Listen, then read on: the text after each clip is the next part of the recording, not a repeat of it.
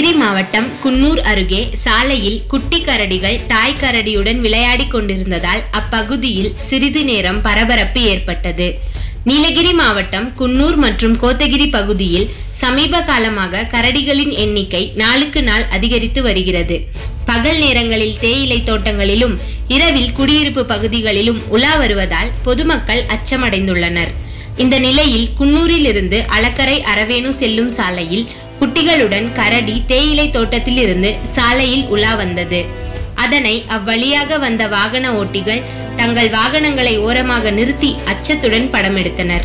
சாலையில் உலா வந்த கரடி சிறிது நேரம் தன் குட்டிகளுடன் விளையாடிவிட்டு அருகே இருந்த தனியார் தேயிலை தோட்டத்திற்குள் சென்றது. இச்சம்பவத்தால் அப்பகுதியில் பரபரப்பு ஏற்பட்டது.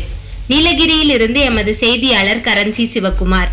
வனத்துறை மற்றும் வனவிலங்குகள் பற்றிய செய்திகள் அறிய இந்த சேனலை சப்ஸ்கிரைப் செய்யுங்கள்.